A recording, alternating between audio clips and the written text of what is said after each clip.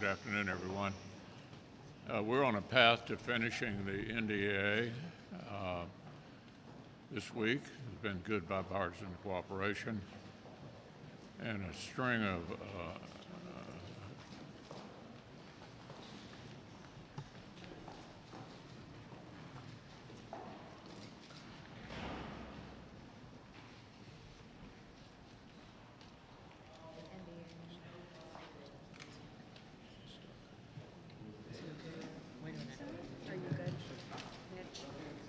Okay, Mitch, anything else you want to say, or should we just go back to your office?